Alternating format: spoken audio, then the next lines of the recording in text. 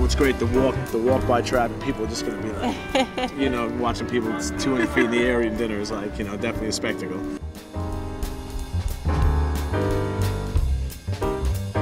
But what's nice is we have um, a guy, that, our safety operations manager down below. He'll do a spin. He'll slightly spin the table just so, you can, so no one misses a view. You'll see the mountains. You'll see the strip. You'll see the stratosphere. You'll see almost all the way to California. It's, it's, it's absolutely beautiful. It's just so surreal, so peaceful, and, and once you get up there, you won't even believe you're in the air. That's how smooth it is. It's, it's awesome.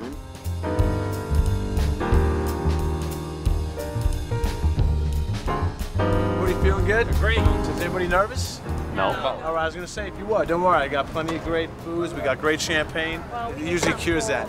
We have a great night. We got perfect weather. The wind's just right, and we got a great group. I brought my 18 with me up there, so let's have a great night with Dinner in the Sky, everybody. Let's enjoy.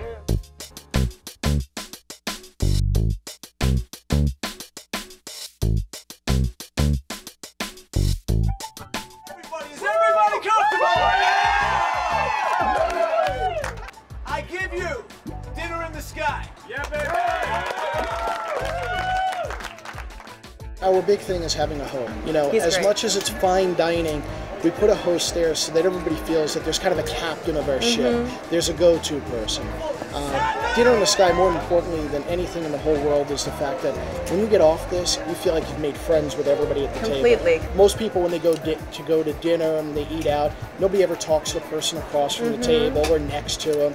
And uh, here, everybody's getting off. They want to go hang out to the next level. Let's exchange Facebook. Let's exchange Twitter accounts. Let's let's be friends when we get home. And I think Dinner in the Sky is just taking real personal socialization back to human beings.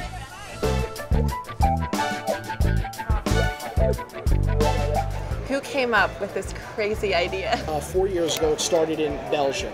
And what happened was there was a marketing company who represented a major uh, food company in Belgium, uh, a French guy. And his client said, We want people to know that our food and our restaurants are above everyone else's. And he knew of a company in, in Belgium where all they did was stuff that goes up in the sky. And they collaborated together, hence, Dinner in the Sky came out of it, and it was this PR thing.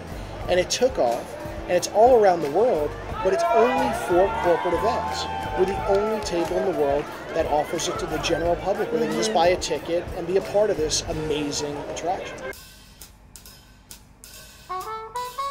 Ladies and gentlemen, this is my birthday shout out. So our first birthday goes out to our girl Tiffany right here. Give her a big round of applause. We got Julie and Amy from Florida. The night flight's cool because it's just pure night. And um, you're up in the air for about 45, 50 minutes. And uh, dinner's absolutely excellent. I want to thank everybody for being so much fun, for enjoying this experience. It's kind of funny. It's uh, it's hard to you know train for this because it's so unique and different. So the big question is, are you scared of heights? But once we get through that, the rest is basically on the job training, and uh, they're all in the hospitality business. So they're about great service and big smiles. Life's not bad, man. Life's pretty good. I can't yeah, complain. yeah, Dinner in the sky. All That's about how we roll, baby. Woo! Ain't bad being the host with the most, man.